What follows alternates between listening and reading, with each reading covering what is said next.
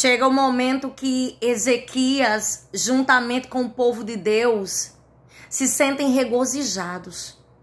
Porque Deus havia feito tantas coisas em tão pouco tempo.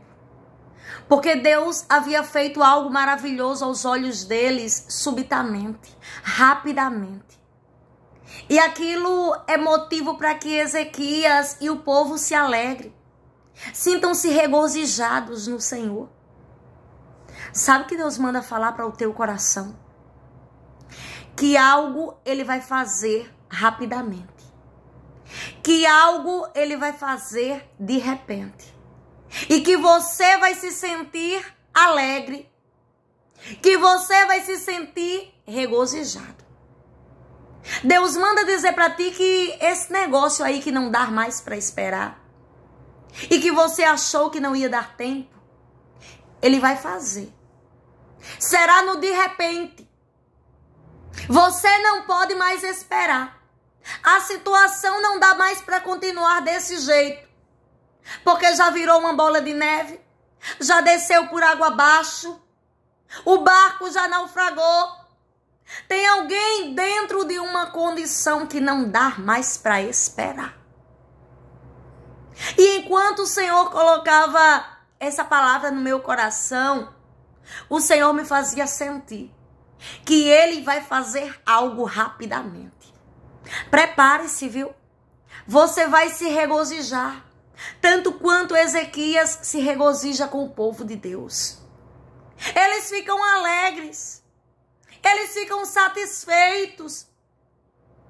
Aquilo é demais aos olhos deles. Foi muito rápido que Deus fez.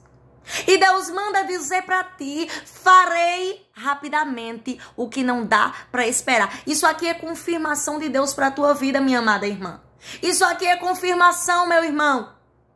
Deus manda dizer para ti: vou fazer rapidamente o que você não pode esperar. Você foi tentando sustentar a situação. Você foi tentando controlar como dava. Você tentava de um lado, tentava de outro. Mas chega o momento que a situação perde o controle das tuas mãos.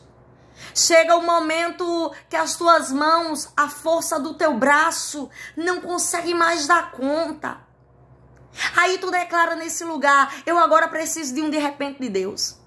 Somente Deus agora para fazer algo por mim.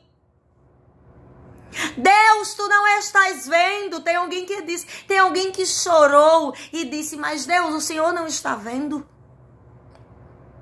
E Deus manda dizer para ti hoje, através dessa palavra, que Ele vai fazer algo de repente, que Ele vai fazer algo subitamente, com rapidez.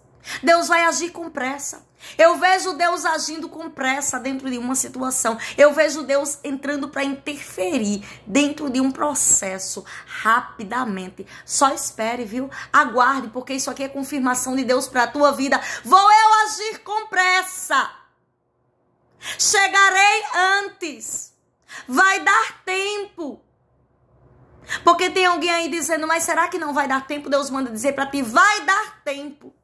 Vou agir com rapidez. O de repente vai acontecer e você vai se regozijar no Senhor e o teu coração vai se alegrar e você vai comemorar e você vai agradecer a Deus juntamente com os teus. Deus te abençoe.